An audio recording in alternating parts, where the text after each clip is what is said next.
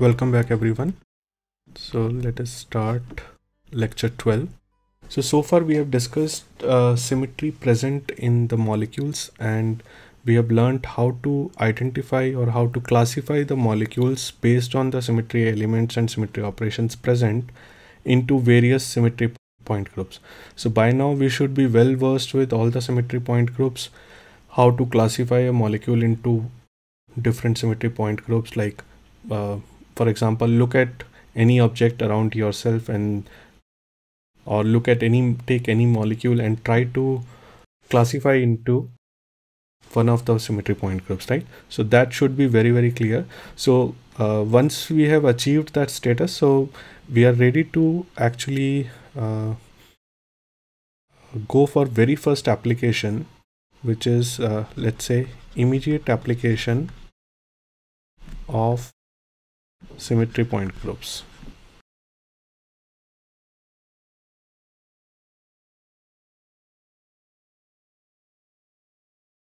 So the first property that we can predict or that we can identify or determine whether molecule has that physical property or not is dipole moment. So we are all aware what is uh, dipole moment. So dipole moment or polarity, right? Whether a molecule is polar or non-polar polarity. So whether a molecule is nonpolar or uh, polar, it depends on whether a molecule has dipole moment or not. So what is dipole moment? It's the separation of charges along any particular bond. And let's say if uh, all such separation of charges or all such bond moments add up together or not cancel uh, against each other then the molecule is said to have that it is a dipole moment. So for example if we consider let's say uh, some molecule okay? Just an example. So in this case the dipole moment along this and this bond and along this bond is not going to cancel with each other. Whereas if we look at a molecule like this PTCl4 the dipole moment along this side versus along this side will cancel against each other. Similarly here it will cancel with this. So this one uh, will not have any net dipole moment or any molecule in such geometry may not have uh, dipole moment but this molecule will have a dipole moment so this molecule will be called as polar molecule and this will be called as non-polar molecule, right? So uh, let's see with the rules of symmetry and point groups, can we identify whether a molecule has dipole moment or not? Okay. So uh, just to define a molecule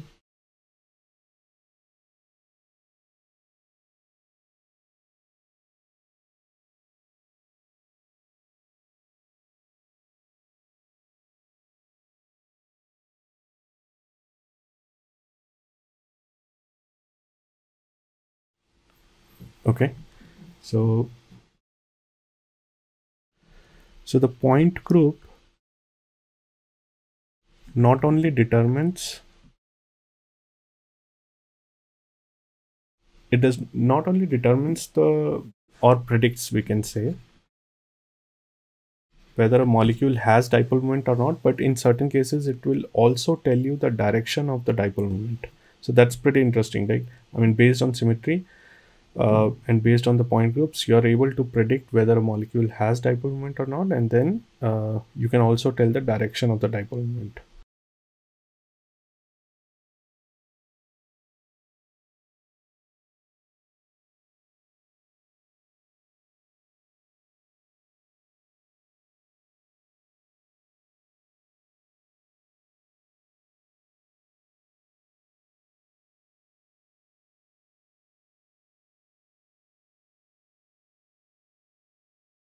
so let's look at certain rules. Uh, so we can say if a molecule has center of inversion all the bond moments will get cancelled out right so any point group that has i will not have dipole moment. So what are the point groups uh, we are left with? In such cases d infinity h and d n h and what else? Ci group of molecules. This these are examples certain examples. Group of molecules will not have dipole moments so why dipole moment is important? Because it tells you about the solubility of uh, the molecule and then other certain other properties which depends on this dipole moment. So it is important to know when you're doing chemistry, it is important to know whether a molecule is polar or non-polar, right? Okay. So molecules with the same logic, molecules with more than one Cn axis with n greater than 1 will not have dipole moment. So that because if there are multiple more than one Cn axis, it will cancel out the dipole moment of individual bonds so this leaves uh, the point groups let's say so all d point groups dihedral point groups because they have cn and n c2s perpendicular.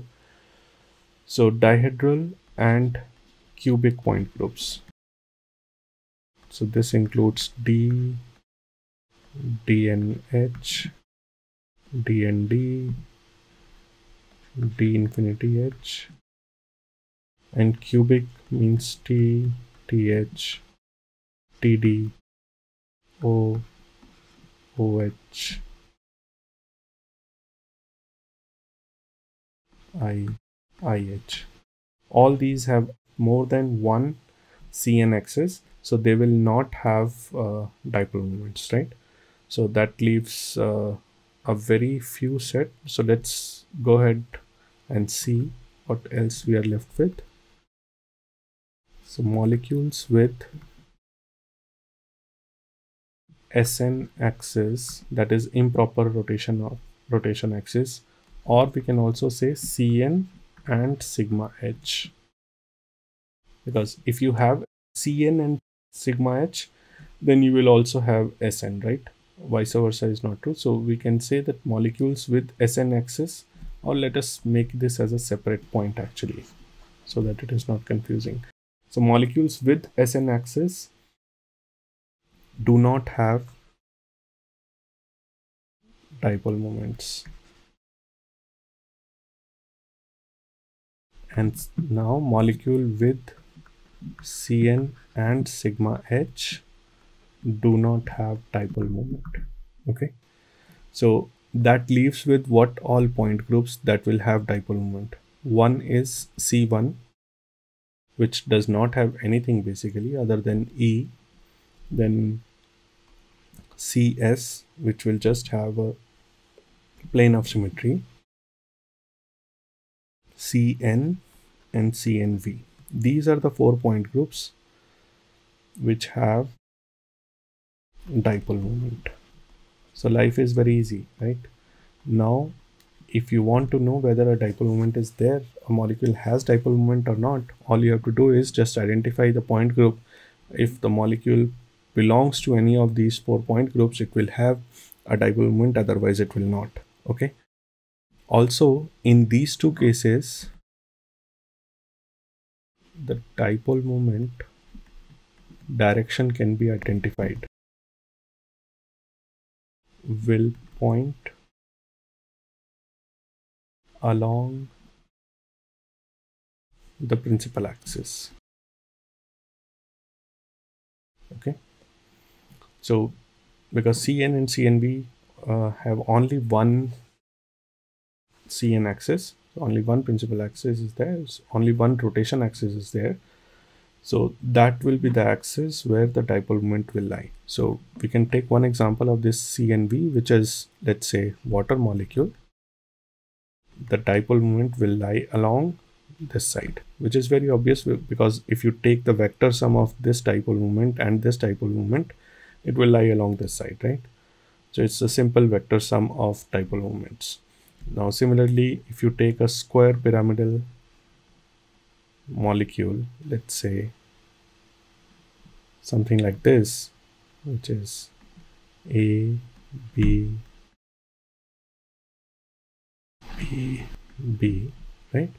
So in this case, the dipole moment will lie along this AB bond, this AB bond, because all the individual dipole moments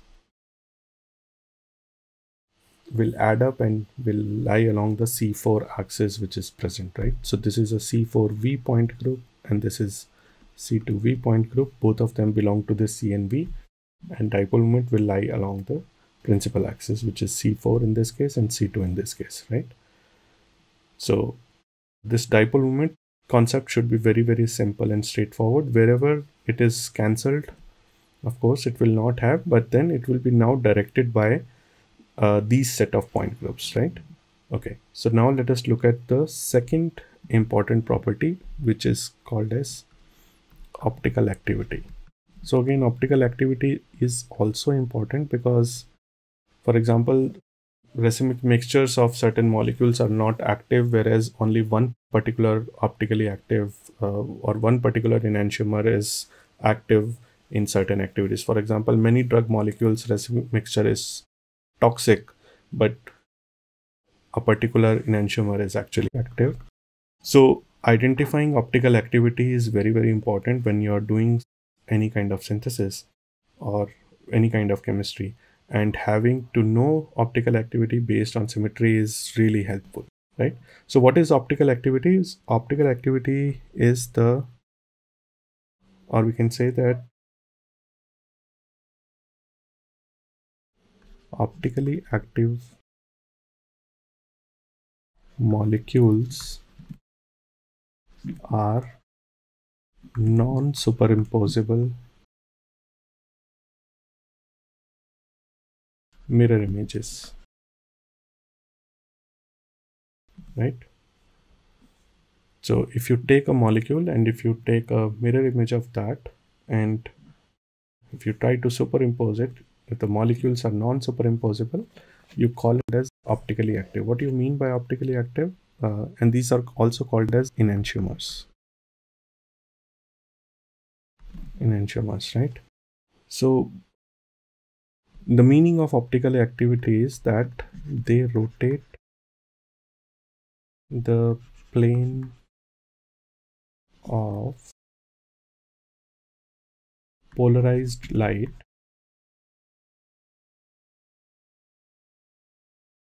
passing through them. So you must have all done a polarimeter experiment in your first year, right? I mean, where you have taken sucrose solution and find out what is the optical rotation of that particular sucrose solution and do it as a function of concentration. So there you must have seen that uh, the plane of the polarized light is rotating, right? So that is because the sucrose is optically active, right? So I'm not going to go into details of uh, how it is done. So this is uh, too basic for this course. So you must know what is the meaning of plane polarized light and how it is rotated and all. So let's not go into that. But uh, our aim is to now identify on the basis of symmetry how a particular molecule can be identified whether it's optically active or not.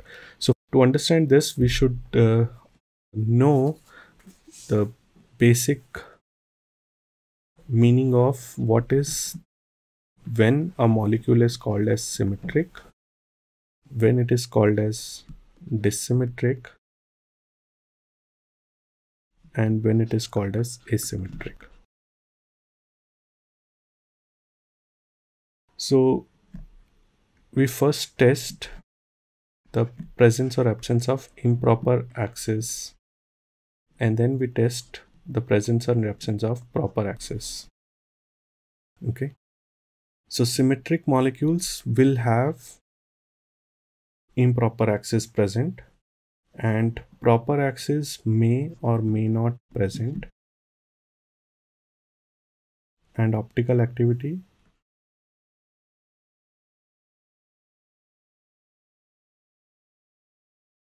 they are inactive so symmetric molecules which have SN axis. So we can say this is Sn this is Cn right? Now dissymmetric molecules Sn axis is absent and Cn axis is present. And they are active asymmetric molecules Sn is absent Cn is also absent and they are also active. Or other way to identify this is let us say if you have a molecule and you are asking whether a SN axis is present or not you will get two answers. So I'm trying to write a flow chart yes or no. So if SN is present then you assign it as achiral achiral is optically inactive. Okay.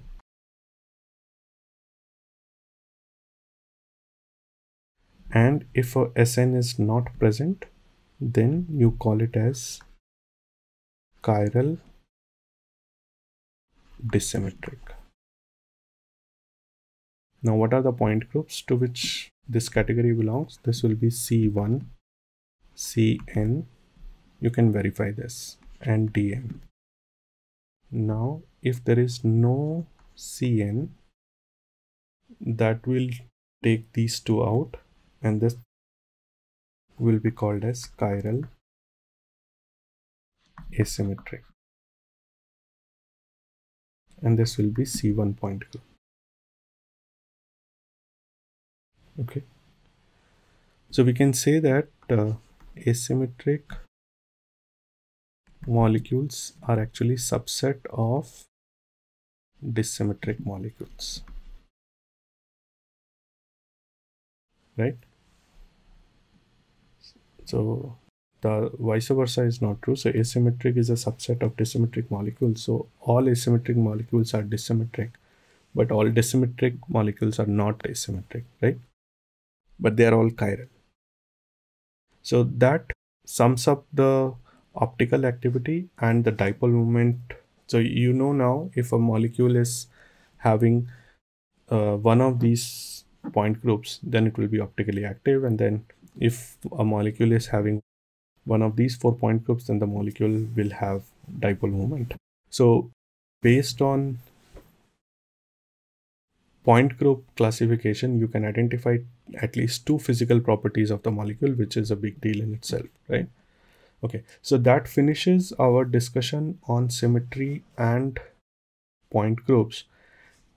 And now we will see how symmetry properties are utilized using the concepts of group theory into more details into more applications okay?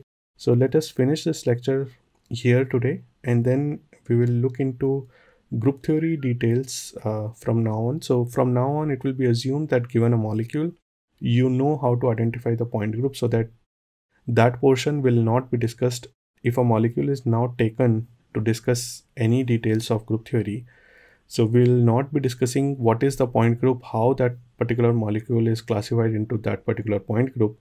So we'll be only discussing straight away classifying that molecule as this point group and then from there the discussion will start. So I'm trying to separate these two topics so that you know that this is the symmetry topic and now we will move to group theory which will be more application oriented and then uh, we'll develop the theory part of uh, the group theory part how symmetry properties of molecules will be utilized in group theory okay? So let's uh, finish this discussion today and thank you